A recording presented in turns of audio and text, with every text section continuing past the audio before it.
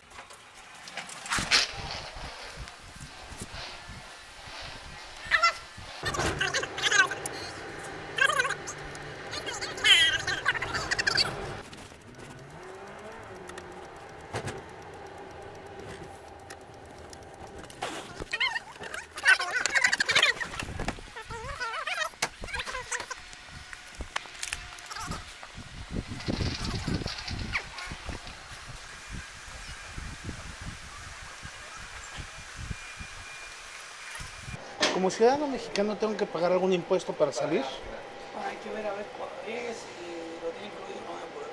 Ah, ok. ¿Y cuánto es si no lo tuviera? 25 25 600. CUC.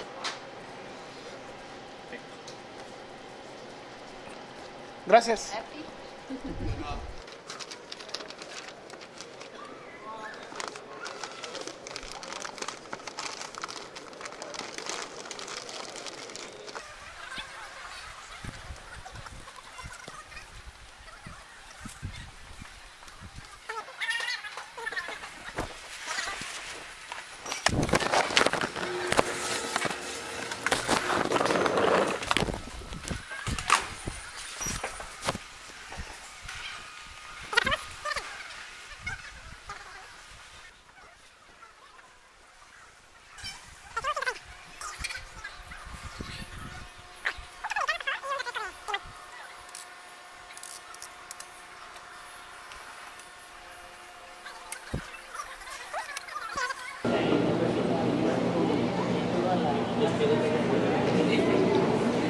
Buenos días, eh, estamos en el aeropuerto de Cuba, listos de La Habana, listos para ir a México.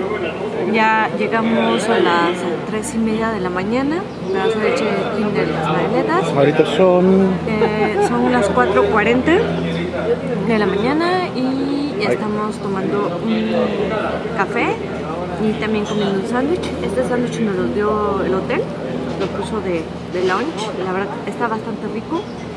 Eh, y bueno, aquí en la entrada para salir de Cuba, eh, si no te pones listo te pueden cobrar 25 dólares de un impuesto, pero ahí este, porque vale lo mismo que la visa, son 25 dólares para llegar aquí, pues nos querían decir, querían cobrar este, otros 25 adicionales, entonces no se dejen, nada más es el de la visa de entrada.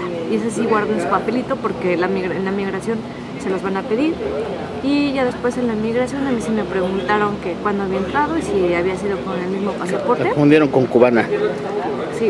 Ya, la querían dejar aquí en la isla. Ya fuera de eso ya nada. Ah, y también como tenemos las dos monedas, los pesos convertibles, que es como la, par del dólar, los pesos cubanos, allá afuera pregunté en la casa de cambio si me los pod- podían ca- cambiar los pesos cubanos, me dijeron que no y que no los aceptaban en ninguna tienda.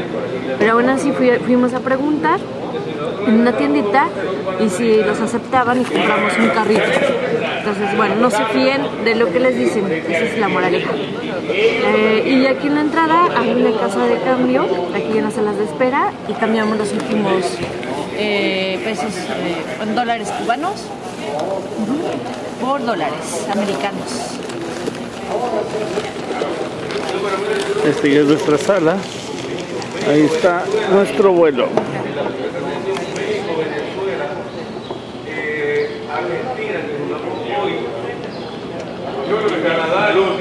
Carrito. Es el carrito que compramos. Un almendrón. Bueno, nos despedimos de Cuba y hasta la próxima.